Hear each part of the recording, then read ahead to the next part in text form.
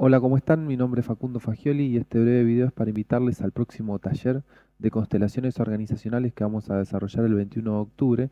y en especial haciendo foco en aquellas empresas pequeñas y medianas que tienen su origen en una estructura familiar, es decir,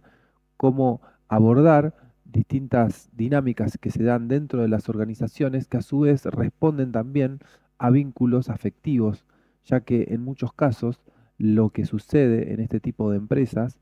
tiene su origen, sobre todo aspectos conflictivos a nivel vincular y que impactan en los roles concretos a la hora del desarrollo del trabajo dentro de la organización o de la empresa,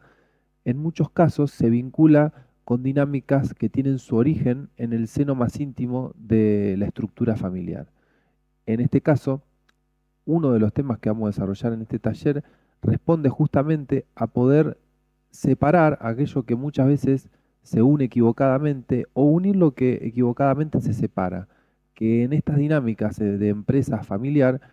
es muy común que suceda, ya que los vínculos cuando se desordenan, cuando se confunden los roles afectivos con los roles profesionales y sobre todo en una empresa que empieza como un emprendimiento mucho más pequeño y va creciendo y desarrollándose a lo largo del tiempo, ese mismo crecimiento puede ir generando distintos conflictos, ya que la profesionalización y la necesidad de definir roles mucho más claros dentro de la organización muchas veces contrasta con la dinámica de la estructura dentro de la familia.